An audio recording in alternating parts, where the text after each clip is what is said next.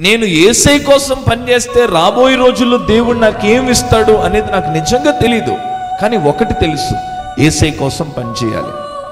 ఆ నిర్ణయం నేను తీసుకొని నా జీవితంపై దేవునికి అధికారం ఇచ్చాను. ఫ్రెండ్స్కి ఇవ్వలేదు లోక సంబంధమైన విషయాలకి ఇవ్వలేదు పూర్తిగా ఏసై చేతిలో పెట్టాను.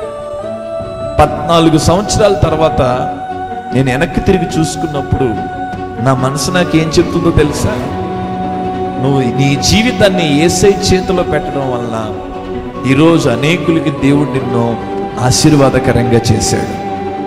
బైబిల్ స్పష్టంగా చెప్తుంది నీ ప్రవక్తన మీద నువ్వు దేవునికి ఏమి ఇవ్వాలి?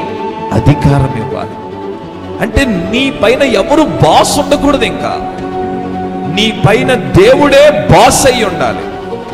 అలా నువ్వు ఎప్పుడైతే నీ ప్రవక్తన మీద నువ్వు దేవునికి అధికారం ఇస్తావో బైబిల్ చెప్తుంది ఆయన నీ త్రోవలను ఏం చేస్తాడంటే సరాళం చేస్తాడంటే నువ్వు వెళ్ళే ప్రతి వే ప్రతి మార్గాన్ని కూడా దేవుడు ఏం చేస్తాడంటే క్లియర్ చేసి పడేస్తాడు.